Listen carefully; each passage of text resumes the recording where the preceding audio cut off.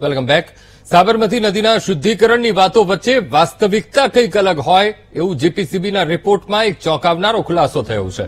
રિપોર્ટમાં સાબરમતી નદી એ દેશની બીજા નંબરની સૌથી પ્રદૂષિત નદી હોવાનો ઉલ્લેખ કરવામાં આવ્યો છે. સાબરમતી નદીમાં ગંદકીનું સામ્રાજ્ય છે. સાબરમતીનું પાણી પીવા લાયક નથી રહ્યું. આ રિપોર્ટમાં ઉલ્લેખ કરાયો છે. સાબરમતી નદીની સફાઈ માટે કરોડો રૂપિયાનો ખર્ચ થાય છે. બીજા નંબરે સાબરમતી અને ત્રીજા નંબરે વહેલા નદી રિપોર્ટમાં તેનો ઉલ્લેખ કરવામાં આવ્યો છે અને રિપોર્ટમાં ગુજરાતની અન્ય બાર નદીઓનો પણ સમાવેશ કરવામાં આવ્યો છે. જેમ કે ભાદર, અમલખાડી, ભોગાવો, ભૂખી, ખારી, દમણગંગા, ચાણોદ કોઠાડા ખારી, માહી, કોટના, મીંધોળા, શેઢી, નિઝર વિશ્વામિત્રીનો પણ સમાવેશ થયો છે.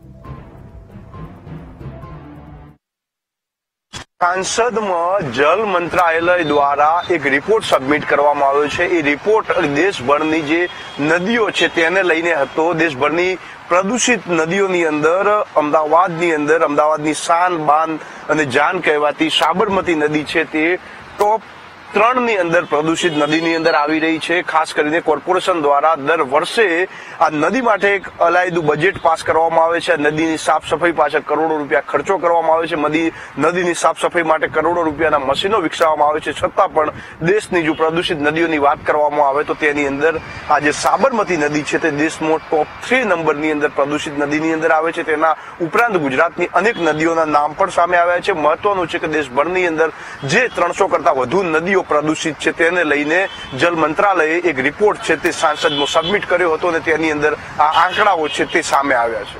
કેમેરામેન નરેશ સોલંકી સાથે જયંતિ ચૌધરી વીટીવી અમદાવાદ.